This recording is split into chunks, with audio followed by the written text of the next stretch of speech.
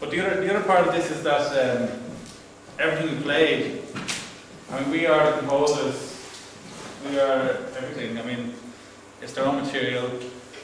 We just watch the videos, come up with some ideas, and then try to formulate it into some kind of way that it would go along with the video.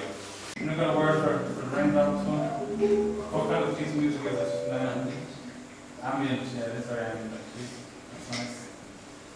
And um, it's much harder one to deal with because, I mean, the, the, the plot one is it's pretty straightforward because you can see what's happening and there's a story. And this is um, basically a video of some raindrops on, on a car window and how and different colours with traffic. So it's um, much harder to come up with something that fits it, you know.